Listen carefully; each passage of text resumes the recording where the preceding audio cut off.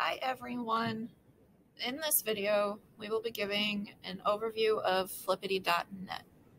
Some of you may be wondering what Flippity is. Flippity is a completely free website with tons of free templates to help you create interactive resources using Google Sheets. These templates can be used in a variety of ways with a variety of subjects. And as you can see, there are a lot of different options. Um, the nice thing with Flippity is if you want to try it out yourself before creating one, all you have to do is press demo and it'll take you to their example of how it works. And then you can decide if you want to create one. There's also instructions walking you through step by step how to create that template. And then the template is how you access the Google Sheets copy for your own. So in this rest of this video, we will show you some of the templates we've created and have used in our own classes.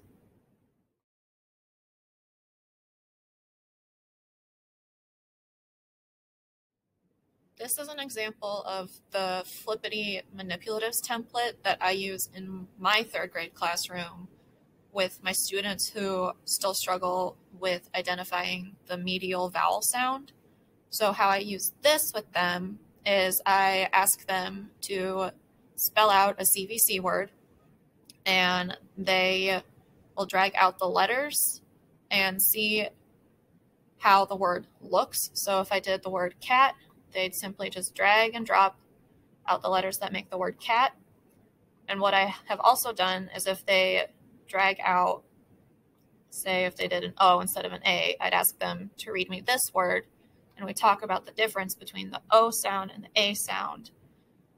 And I've used this a couple times, and they like being able to move them, especially since we're virtual for my class. So being able to move instead of just writing out the words, they've liked a lot.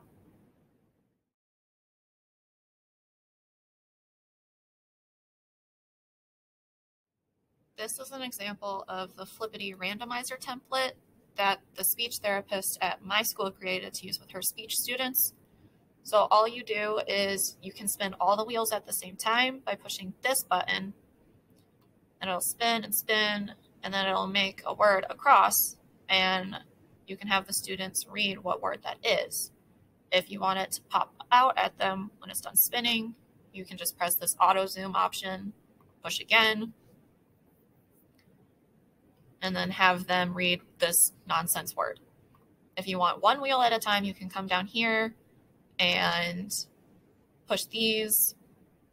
If you wanted to make a word that makes sense instead of a nonsense word, you can do it that way too.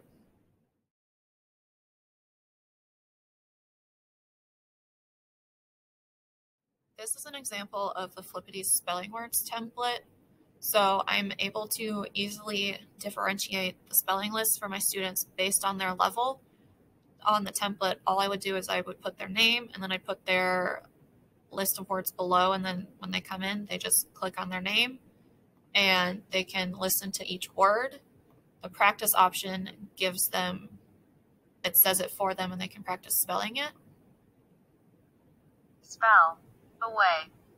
The quiz option would be their spelling test. So they just click on that and it would tell them to spell a word and they spell it. And then those results can get sent to my email. If they click the more, then they have more options. They can do a word search.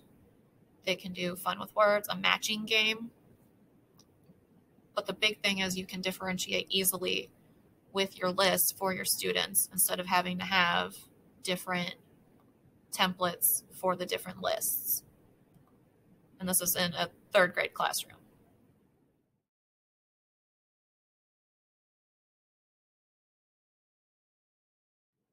One other way to use the Flippity matching template in third grade would be vocab words. So I have the word on one card and then they go through and they find the Angle. definition To stop or pause because you are unsure. With spirit and joy. And so they just go through and then they match the word With spirit and joy. with the definition. And then when all the cards are gone, as an accountability piece for my virtual students, I just have them screenshot the end screen and upload it to their Seesaw vocab choice board, which this is linked to. Hi, my name is Morgan Jordan, and I'm a first grade teacher at Woodland. This is how I use Flippity with my students. So I first had them play a Flippity, and in this Flippity, I wanted them to match up 10 plus uh, ones to make a T number. So I just put my Bitmoji on the 10 front plus 4. to make it a little more exciting 14. for them. And then had them match 10 plus 4 equals 14. After they cleared the board, I had them go back into Seesaw. I know I could have set up the email option so that I would have gotten an email when they did complete the Flippity, but we do share within my grade level, so I didn't want over 50 emails coming in. So I just had them do a little show what you know and draw a picture or use emojis to show the number, what was 10 plus 9, and then they would answer the number sentence as well. I think that Flippity is a great new resource to use in my school. We have been using it and very much enjoying it. Flippity in the primary classroom. So in Seesaw, you can link in the Flippity, and then it will open up like this. This is an example of a phonics. So I have our spelling pattern, phonics pattern, and then pictures so they can go through and match the word to the picture. There's also an option when you create a Flippity to have words read um, in lots of different languages. I have that off, but if it was on, it would read the word as I was going. You can also use it in math. This is an addition example. So you can go through and type in any addition problem and answer that you would want, or subtraction, whatever you are working on at the time to make the work a little bit more engaging. I would like to show you how I've used Flippity to incorporate some vocabulary practice with word study. I created a seesaw activity and my students are assigned a group. They might be an owl group, a popcorn group, a donut group, or an apple group. And depending on which group they are, they will just tap on the link to get to the page with their specific vocabulary practice. I have some of the words in a Quizlet, but I've also incorporated flippity matching and a flippity game board. I'm going to show you the flippity matching. Students will just tap on the link to go to the flippity matching. And in this activity, I have designed words and descriptions with the um, ability to have it read. So when they tap on it, it's automatically on. Talking between two or more people. Example, what are you talking about? He asked. And then they tap over another card to try to find the match for the word. A book containing a list of things that you and buy, use, etc., and often pictures examples, automobile parts, types of clothing. Now, of course, you can see that these are not a match. They are outlined in red.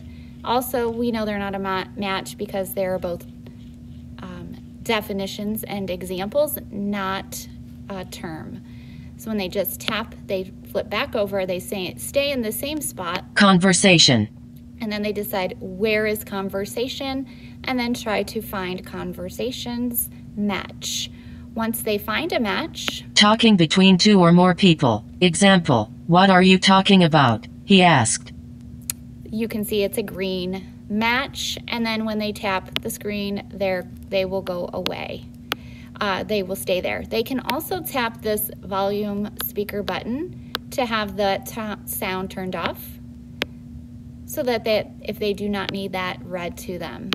You can use this activity in multiple ways for different vocabulary. Um, you can use it in other uh, examples such as math, facts, or social studies, vocabulary, scientific terms, all of those types of things.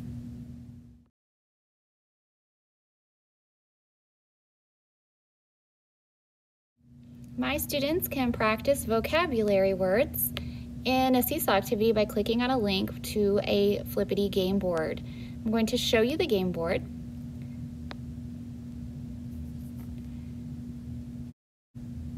In this game board, students will choose a pawn or two if they would like to play an imaginary player, and they move their pawn. They tap over here on the die to roll, and it tells them how many spaces, one, two, three. When they land on a space with an I, it will give them a, they tap the I and it'll give them a box. In this case, move forward four spaces. Close this window and draw a blue card. The blue cards are where I can then incorporate the vocabulary skill. So when they tap on a card, it gives them a word and then they have to think what is what is the definition or example for conversation. When they tap the check, they can self-check and see their answers. And they continue through this game until they get to the end. It's pretty engaging. They seem to like it a lot. You could use this game board for other uses. You could use it for math fact practice, uh, fraction review. You can incorporate pictures. You can even put pictures on the board pieces themselves instead of colors. There are lots of ways to make this in unique and individual, and it's very easy.